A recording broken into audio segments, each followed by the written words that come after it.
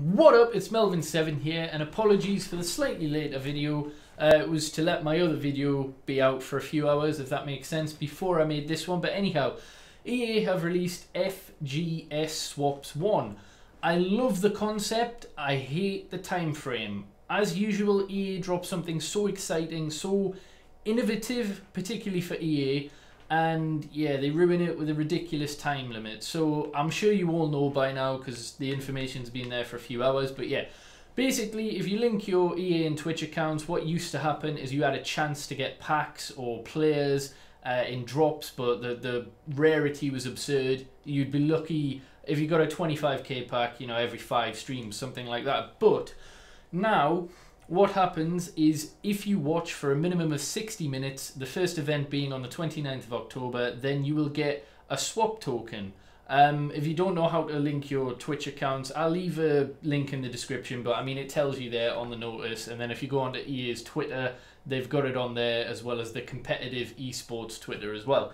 So, yeah, the problem is the events that are listed, uh, the earliest that you can get the 100k pack, which is for five swap tokens, is January the 24th, I believe. So, you know, if we have a look here, we go on to the swaps uh, tab, and then you can see you can get a Jumbo's Rare Players Pack for five tokens, which is what you want, ideally, but then you have to wait another a couple of months, either March the 24th again or April, depending on when they finalize the final one, to get another 100k pack. And that's the maximum you can get until they do the second version of this FUT swaps. I also hope this isn't the only FUT swaps that they do. I hope this is just the competitive one and they still have the ones that they had every month, as well as icon swaps, which are confirmed to be starting. Uh, there's leaks of maybe December, which I think is a little bit too late to be honest. They should start in uh, November.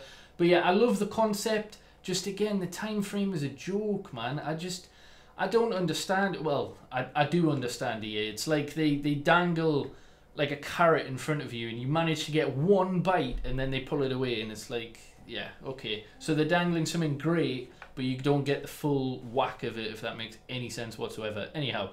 Leagues max 5, players from same league max 4, players from same nation, minimum 4, uh, 5.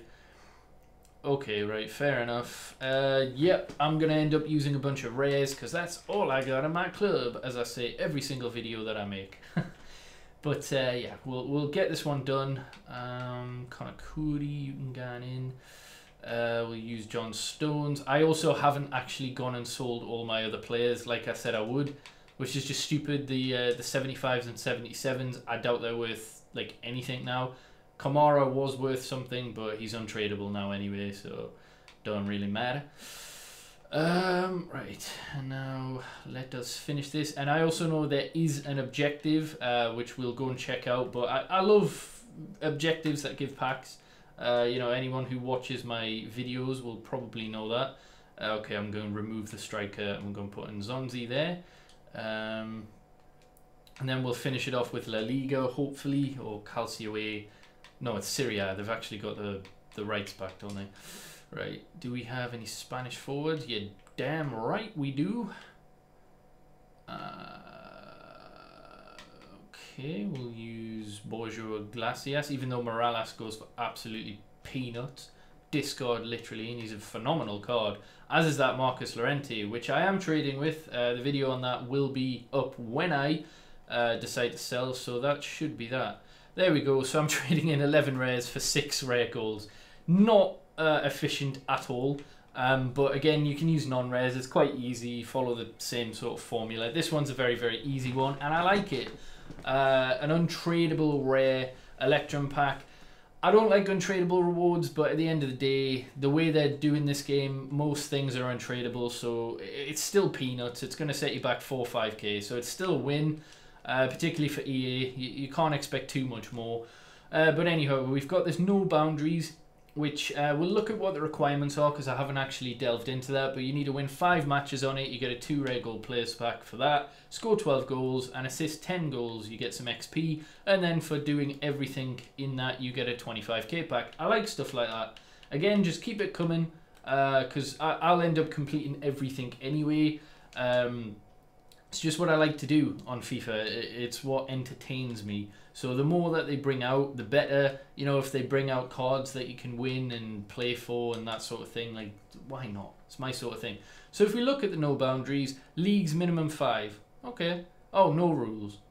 It says no. Oh, that's the type of game mode, right? I get you. Requirements minimum five leagues. Fair enough. So you have to hybridize a bit. I like that. I've got a team at the minute which uh, is almost five leagues anyway.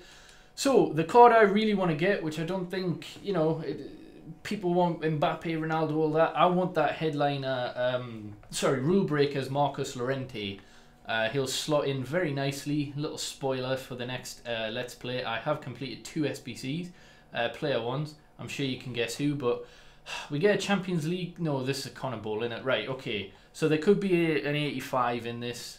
Um, it's probably not though, but yeah, that that's the, the face card there. Wow, that is horrendous. That is horrendous. Not even Major League Silvers either. Oh my god, what is that? Well, I've just completely wasted that. Everything is untradeable as well. Oh no. Okay, Quixote isn't, but wow. Well, that was a waste of time for me. But uh, yeah, what are your thoughts on the uh, the way they've done the Twitch swaps or the FGS swaps as they're calling it? Again, I feel like the concept is a win. The time frame is a massive, massive L. But what do you think? Hopefully, you have enjoyed. Subscribe if you haven't already. Like the video, and yeah, peace.